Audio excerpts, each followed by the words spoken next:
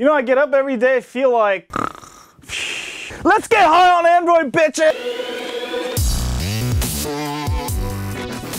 Hi folks, I'm HighOnAndroid.com where we get on Android every day. Anyway, some of you asked me, Hey Max, how do I update my LG G3 to Lollipop? Well, if you're already rooted and have TWRP Recovery installed on your LG G3, it's very easy to do. The easiest way is to install the stock ROM. Now, if you're already on stock KitKat ROM, this will simply update you to the Lollipop ROM and allow you to keep root. And also with Lollipop, you lose twerp on most of the models right now except for the D855 due to the lock bootloader. So if you want to keep root and your twerp recovery and get Lollipop, this is the best way to do it. Let me guide you through step by step. Let's go do this together, baby.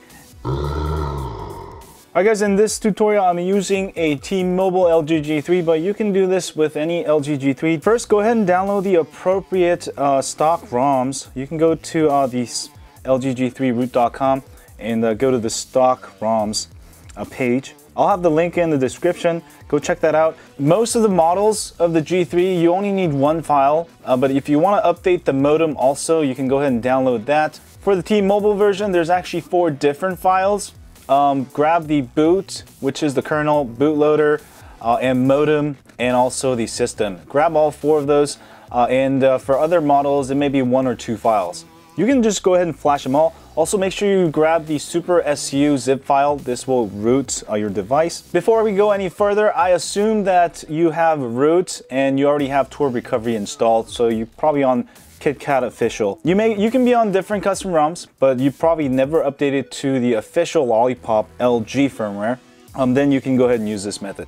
Go ahead and use Quick Boot. Um, you, also, you can reboot into recovery manually. All right, so make sure you hit Grant, and this will boot you into your TWRP recovery. Now, if you're coming from a stock LG firmware, you've never installed a custom ROM, then you don't have to do any wipe. If you're coming from a custom ROM, then you'll have to do wipe. I am coming actually from a stock ROM, so I'm not going to do any wipe, but if you're coming from like a custom ROM that's not based on LG, go ahead and do a factory reset. Otherwise, you don't have to do that, and go ahead and go to install, go to your download folder, go ahead and install all the files. Um, so I'm to go simply go ahead and start with the boot here, all right, which is the kernel, and I'm to go ahead and install the next one, the bootloader. All right, that was easy. Uh, go back, install the modem. That was easy. And go ahead and install the system. These are all the actual system files. And we're gonna go ahead and also flash the Super SU to make sure we have full root. And this way you can go ahead and keep your twerp. Uh, I would never do the upgrade because the lollipop on most of the G3 models will break your bootloader, your twerp recovery. Um, there is a twerp for Lollipop for the D855. I'm not sure for the other version. I think there's one also for Verizon, but the other models, the developers are, I think, still working on it. So for those of you rooted with Lollipop, that's why you don't have twerp yet. So if you want to stay rooted with the LG de devices especially, you want to make sure uh, be safe about it when you do the OTA updates. Then you may lose your ability to root. Sometimes you lose your ability to use twerp. Um, so it is best if you keep root. Uh, it is always best to install stock rooted ROMs instead. All right, when that's done, uh, we're gonna go ahead and install the Super SU zip file. All right, and this will root uh, your device pretty much. Go ahead and reboot, and you should be on the latest Lollipop uh, with root and with twerp recovery, which is good. So I will fast forward this and we'll be back shortly here. By the way, if you guys want to get a good case, check out the uh, Cruzerlite case. I've been using this for almost a year. I love it. Uh, it's freaking awesome case. It's got a nice lip. Uh, it's going to protect your phone. Uh, it's a really nice slim case that's going to protect your phone and give you a nice little Android uh, logo there. So definitely check it out. All right, there you go. It's got the uh, Android is upgrading screen. If you got to this point, you're good to go.